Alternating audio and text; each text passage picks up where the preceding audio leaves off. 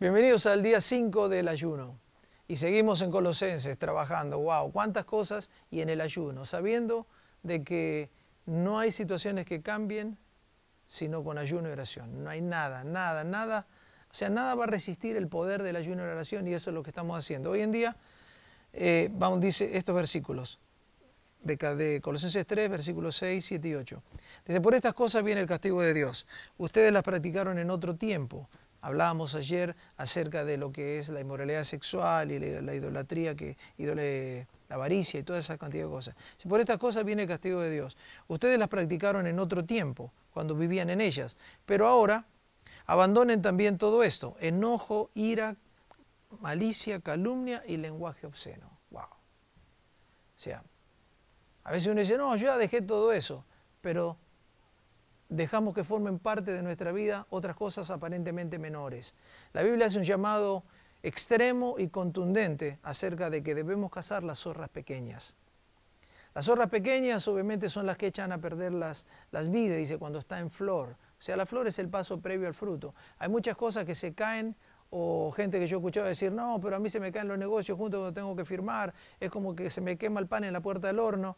Sí, hay que cazar zorras pequeñas son las que echan a perder las cosas antes del fruto. Hay que tener cuidado con esas cosas. Bueno, ahora que estamos ayunando, ataquemos estas zorras pequeñas aparentemente, ¿sí? porque si dejamos las grandísimas que son la inmoralidad sexual y toda esa cantidad de cosas, y ahora dice, abandonen también todo esto, enojo, ira, malicia, calumnia y lenguaje obsceno. La manera de hablar, la manera de reaccionar.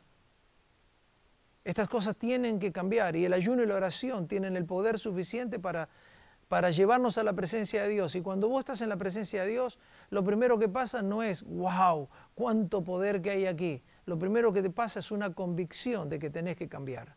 Una, es una necesidad que te entra aquí adentro de que tenés que cambiar, que tenés que renunciar a cosas, que tenés que confesarle a Dios pecados pedirle perdón y ese perdón debe involucrar, voy a cambiar. Y estas son algunas de ellas, el enojo y la ira. Y alguna vez dice, bueno, yo soy así. No, vos tenés que ser como Cristo es. Tu vida está en Cristo.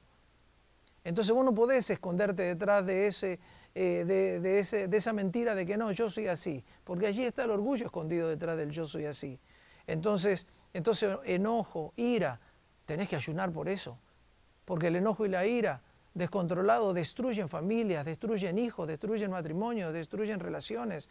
O sea, tenemos, tenés que tener cuidado, tomalo, tomalo con mucha seriedad esto. Si estás ayunando y orando, tenés que enfrentar a esto y tenés que pedirle perdón a Dios y tenés que cambiar. Esa es la idea. Y dice, malicia, es toda la intención con lo que uno hace, calumnia y lenguaje obsceno. Tenés que cambiar tu manera de hablar, definitivo. Tenés que ayunar y orar. O sea, entrar a la presencia de Dios para tener la convicción de que tenés que cambiar. O sea, ¿por qué no motivás? ¿Por qué no hablas bien? O sea, no hables mal de las personas.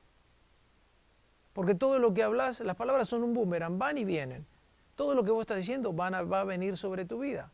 Si hablas mal de las otras personas, eso va a venir sobre tu vida. Y tenés que cortar. Cuando yo leía esto del lenguaje obsceno, no solamente son las malas palabras. A mí me impacta la cantidad de cristianos diciendo malas palabras diciendo groserías, refugiándose detrás del que son de alguna X, X eh, ciudad o X región, de X país.